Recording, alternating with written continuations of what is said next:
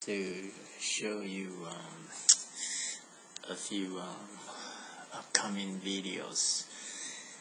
Um, I have um, just uploaded uh, a couple a few uh, videos where I um bought a uh, digital uh, amperage and voltage uh, meter as well as um, uh, how uh, to, to measure how many uh, amperages uh, of my trolling motor use. The these uh, videos are prepping me to do in build this pulse width modular. It's a digital variable speed control for my uh, MotorGuide 70 pounds with control trolling motor to increase my battery runtime. So that's the upcoming video that I'm planning to um, finish. And the next one is to convert my Wellcraft Airslot 165 sport open uh, valve built to a fishing and boating hybrid vessel. Right now, um, I don't have a trolling motor in the front, so I can only use it for uh, boating purposes, not so much for uh, fishing because um, uh, there's no trolling motor in the front to steer the big boat. So the first thing I'm gonna do is install a standing fishing platform in the bow or the front area. And the second thing is I'm gonna install a MotorGuide trolling motor. Um, it's a 24 volts. So this is a, a 24 volts. And it's really two 12 volts battery connected in series. Um, instead of in parallel. And then the second and then um, I'm gonna install two rotating uh, rotating uh, fishing chairs in both the uh, bow and the stern of the boat. So one in the front one in the back. And the last thing is to um, install a few trolling rod holders in the stern area of course, uh, my Johnson 90 horsepower, the big V4, the four cylinders, uh, two cycles engine. I'll have to do some maintenance and repair.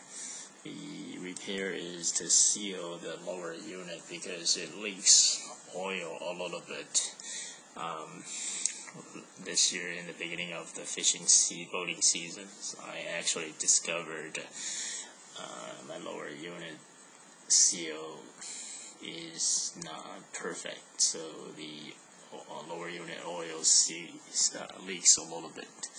Not too bad, it just leaks a little bit. So I'm gonna seal the lower unit, and um, I'm also going to change the lower unit oil. And um, it's a pain in the neck um, project because I have to uh, lower the steering uh, cable that connects the um, the motor and the lower unit and the linkage is uh, a pain in the neck to uh, uh, disconnect and also reconnect. Um, you know I did it in the beginning of this year and you, can take a look and see how I did it. It's uh, actually pretty challenging. Um, to drop the lower unit by itself is a challenging project because it's pretty heavy and you if you do it alone it's uh, you know not easy. Now I'm going to show you a couple free video editing softwares that I recently learned and uh, downloaded and learned to edit my uh, videos. Fifth is I'm going to show you a few tips of using Google Maps um, one of the cool things I uh, did was this, um, uh, you know, uh, my fishing, uh, my fishing, uh, where is it? My fishing map, and I think that's pretty neat. Uh, that's pretty neat. Where is my fishing spots? This one. These icons are in red, but then I have another one where it's actually customized.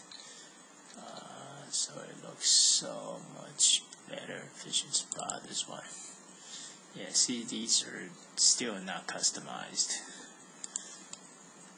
And this is the one that's customized. As you can see Chickadee Island with uh, the pumpkin man catching a garfish and then uh, Lake Anna for so it is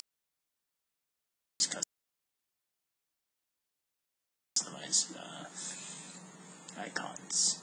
Hope we have some uh,